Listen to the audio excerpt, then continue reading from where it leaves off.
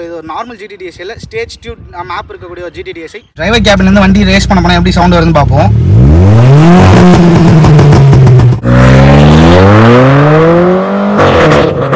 நம்ம கொஞ்சம் லான்ச் கொடுத்துருவோம். வண்டி ஒன் சிக்ஸ்டி இந்த கார்னர் ரீச் ஆகும்போது. வண்டி ஹேண்ட்லிங்க்னே வந்துட்டு செதுக்கி வச்ச சில மாதிரி இருக்கு.